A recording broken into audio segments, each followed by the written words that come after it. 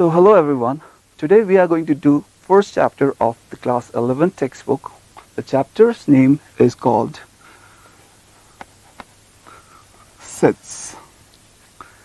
Now by the term sets what do you understand?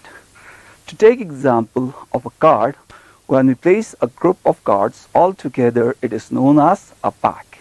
Likewise if we take flowers when we place them all together it is known as a bunch or a bouquet. So likewise in mathematics if we uh, place all numbers data under certain defined uh, conditions then that group is known as set. Or to define sets it is a group of well defined objects all right. Now by the definition or the statement of sets, we can clearly understand what a set is.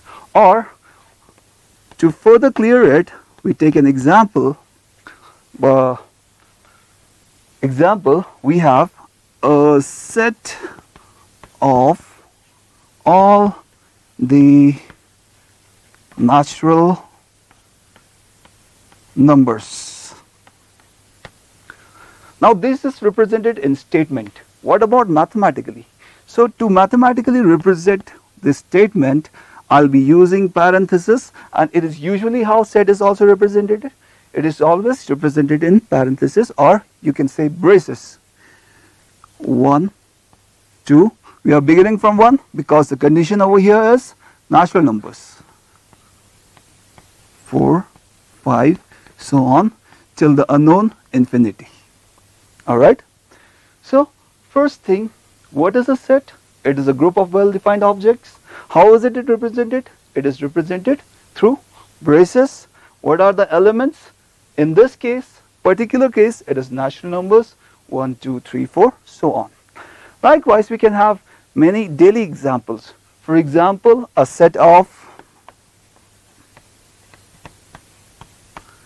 vowels in English? Alphabet? Everybody knows it A E I O U. Similarly we can have set of all the rivers in our great nation Tibet. Certain examples of sets in our daily lives. All right.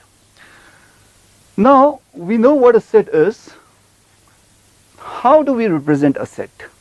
So basically stating there are usually two ways of representing a set.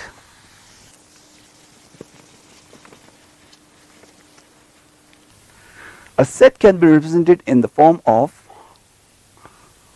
a roster form and a set builder form. Okay? So by roster form what we understand is the form that we used earlier in which all the elements are being noted out. For example let's say set of prime numbers okay? Set of prime numbers less than 10 a set of prime numbers less than 10 alright.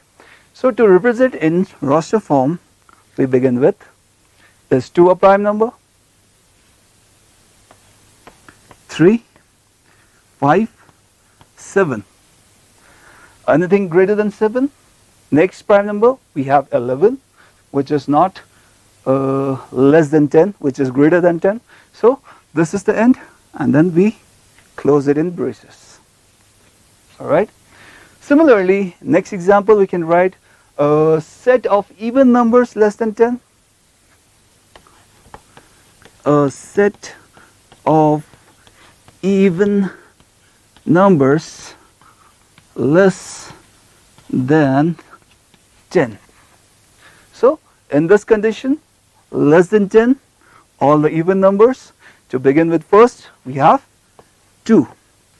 Then next, 4, 6, 8 and 10. Alright. Now over here, what is being said is it is less than 10. Now since it is less than 10, therefore including 10 over here would be wrong.